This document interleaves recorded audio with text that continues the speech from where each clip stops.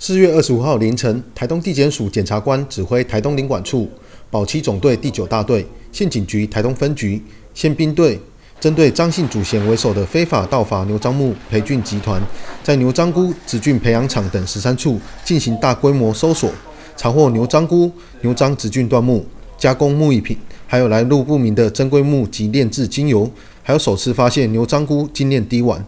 查获赃物市价总计近千万元，堪称花东破获最大的非法牛樟木培菌案件。呃，主要是我们从昨天呃四月二十五号凌晨，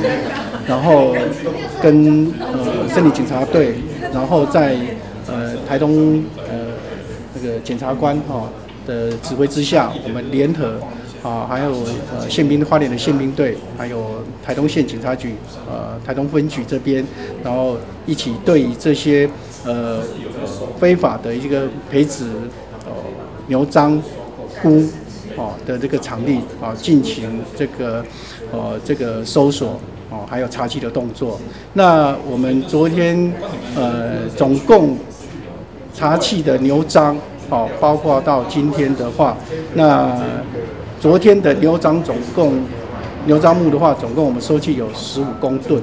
好，十五公吨。然后牛樟枝的部分的话，哦，有一千四百一十四公克。然后另外还有查获的话，有包括说，呃，他做的一个所谓的牛樟，这个牛樟滴牛樟木的滴丸，好，另外还有一瓶，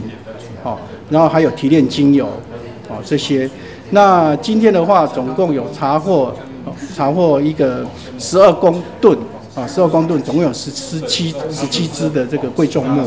哦，那目前这些这些呃牛樟木啦、牛樟枝啦，还有这些成品啦，哦，我们都呃把它呃扣押下来，好，然后现在进入那个司法的侦办当中。特殊的级就是它的这个在东部来讲，好，因为我们东部没有升级公司。那它这个培植的厂，这一厂算是我们在查获的，也是很意外的这么大厂，而且是不是不像说在西部有生技公司啊，专门做培植，但是它的技术在培植这些牛樟灵芝的部分算是非常专业。